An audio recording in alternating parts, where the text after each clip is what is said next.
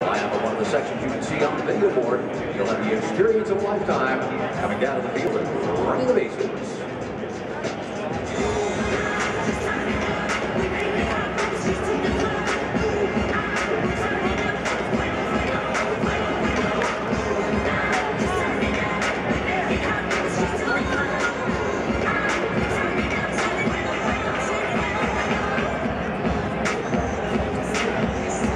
Leading off the seventh inning for the Twins, first baseman number 33, Justin Morneau.